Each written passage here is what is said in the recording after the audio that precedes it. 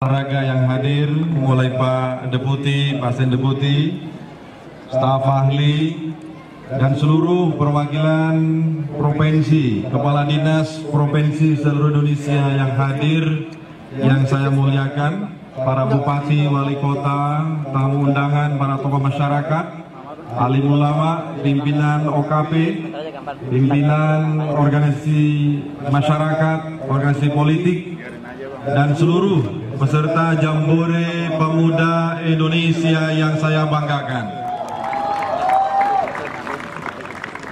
Bagaimana kabar? Sehat semua? Sudah sarapan pagi belum? Yang belum angkat tangan? Oh, hanya lima orang. Ini panas nggak ini berdiri sejak jam 9? Panas?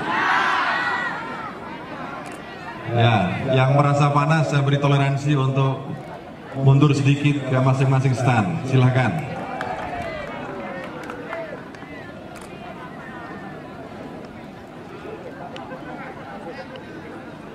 Terima kasih yang tidak merasa kepanasan.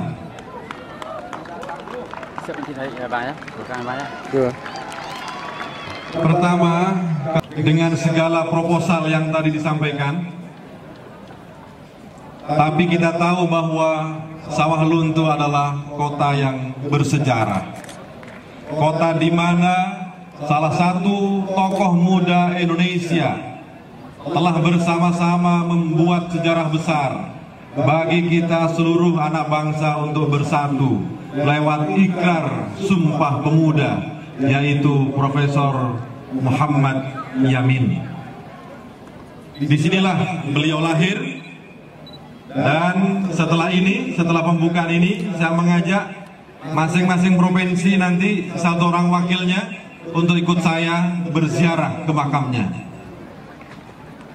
Kita doakan, kita fatihahkan, sekaligus semangatnya, inspirasinya, kita selalu jaga dan kita selalu gaungkan agar kita semua yang hadir ini menjadi Muhammad Yamin, Muhammad Yamin baru yang tidak pernah kelelalah untuk merangkai, membingkai, menyatukan Indonesia sampai kapan pun.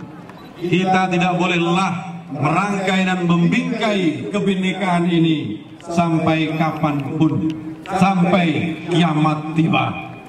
Itulah tanggung jawab kita para pemuda.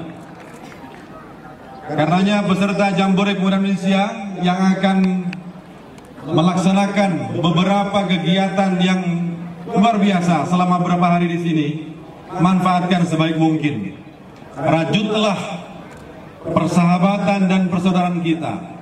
Berilah catatan-catatan baik dan jangan sampai lupa publikasikan apa yang kalian lihat, yang kalian rasakan, yang kalian lakukan di tempat ini agar sosial media kita diwarnai oleh informasi konstruktif, informasi yang baik, informasi yang positif dan itu kalianlah yang harus menjadi aktor dan pelaku utama.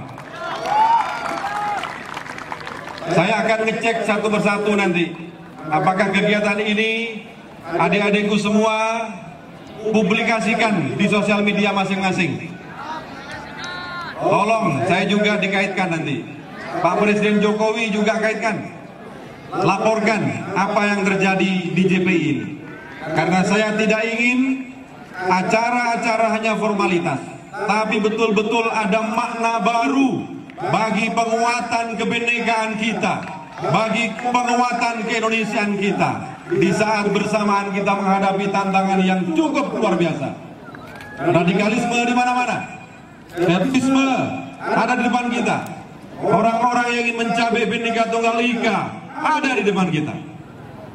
Dan itu kalian para pemuda lah yang harus menjadi benteng pertama untuk mempertahankan Pancasila, Bhinneka Tunggal Ika, Negara Kesatuan Republik Indonesia. Saudaraku semua yang saya hormati, inilah beberapa hal yang bisa kami sampaikan.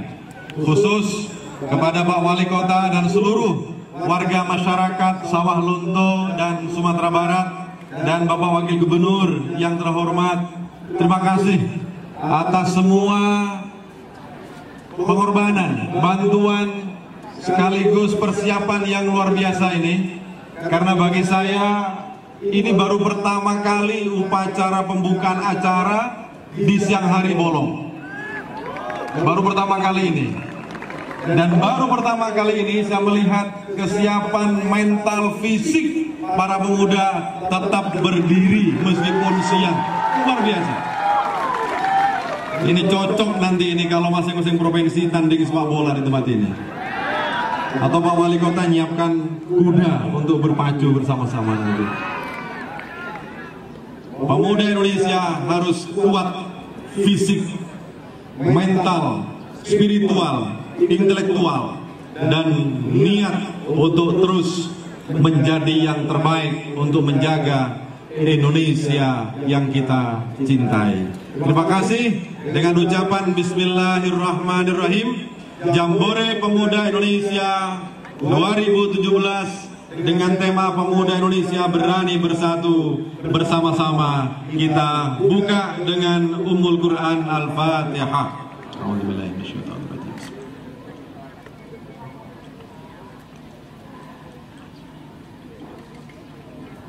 Terima kasih. Wallahu muwaffiq ila Assalamualaikum warahmatullahi wabarakatuh.